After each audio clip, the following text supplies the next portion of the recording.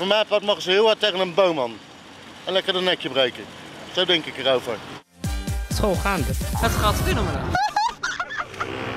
Illegale straatraces, honderden motoren die door de straten scheuren en het gebruik van lachgas door grote groepen jongeren.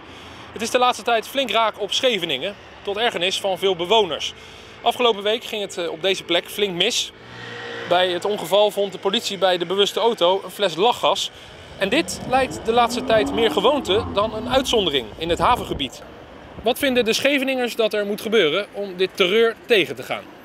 Af en toe lijkt eh, het dorp wel een beetje op eh, het circuit van Zandvoort, hè? Dat klopt, eh, ja. Ja, wat vindt u ervan? Eh, slecht. Maar ja, als je er wat eh, aan melding van gaat maken, dan wordt er ook niks aan gedaan. Heeft u wel eens melding gemaakt? Ja, vaak genoeg. Ik heb ze inderdaad in het weekend behoorlijk gehoord. Word je helemaal gek van? Ja. Hij ook? Het hondje ook? Die blijft blaffen natuurlijk. Ja. Maar ze komen van de boulevard af. Hebben ze eerst tien drempels gehad, moeten ze afremmen. En zien ze hier asfalt en dan is het vogelgas weg. Ja, want ik woon dicht bij de Statenlaan. En daar racen ze als een gek. Nou, ik ben echt bang als ik een keer met mijn hondje loop. Dat, ik dan, dat er wat gebeurt. Hoe hard rijden ze dan ongeveer? Nou, ik denk zo 100, 120 hoor. Echt waar. de en dan gewoon op de Statenlaan. Ja, en dat maakt zo'n hard lawaai dat het best wel beangstigend is. Racen moeten ze lekker doen waar ze vandaan komen of, eh, of op een circuit. Ik woon hier zelf verderop in de straat en mijn kinderen lopen hier ook in de ronde. Dus, eh, maar ja, weet je, het is voor ons niks nieuws, want het is gewoon elke zomer is het bal hier. Maar het begint wel erg vroeg nu. Ja, maar ja, ze hebben niks anders te doen.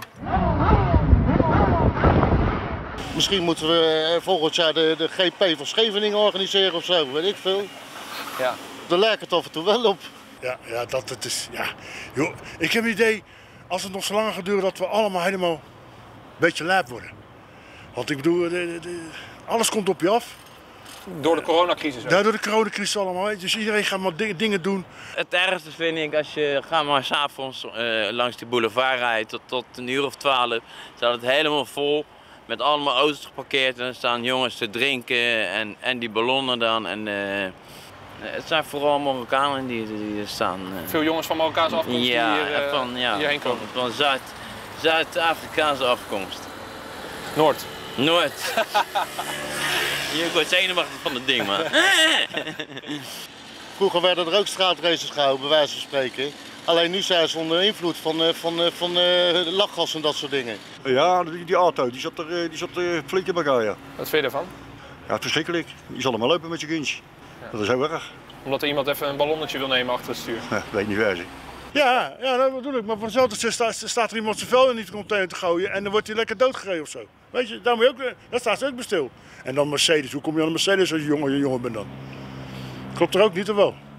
Volgens mij was zo'n dieder gewoon met, je, met, die, met, die, met die ballonnetjes zo. Dat hij uh, een afspraak had of zo. Weet ik, ik weet het niet hoor. Ik, uh... ik heb er foto's van. Ik kwam, uh, ik kwam de deur uit en toen zag ik de auto twee meter door de lucht vliegen. En die kwam hier zo tot stilstand, zeg maar. Ja, daar schrok ja. je wel even van, denk ik. Ik schrok me de, de tyfus, ja. Ik mag niet vloeken, hè. Van mij wel, hè. Ja, oké. Okay. Als je dan zelf wat overkomt, daar heb ik geen medelijden bij. Maar er lopen ook mensen die er helemaal geen tering mee te maken hebben. Ja. En die worden voor de flikker gereden. Maar het is toch te bezopen voor woorden. Voor mij part mogen ze heel hard tegen een boom aan. En lekker een nekje breken. Zo denk ik erover. Ja, ze liepen met mij ook door de straat met uh, een grote tank met lachgas en uh, zes knullen. En die lopen met elkaar te lachen en te doen. Wij vinden het zat van die dingen, zat. Wat zeg u? Die, die, die patronen, weet je wat, die lachgas, zat. Ja. Die vind je wel? En waar vind je die dan? Uh, overal. Laat je mening horen. Overal. Dan naar haven, dan daar, dan daar, in de wijken, overleggen ze. Maar wat is nou de beste oplossing om al deze problemen tegen te gaan?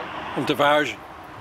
Nou, ik vind dat dan de handhaver of de politie moet er gelijk boem mijn auto's in beslag nemen. Weet ik veel allemaal. Gelijk uh, lik op stuk. Gelijk afnemen die handel. Zo simpel leg het.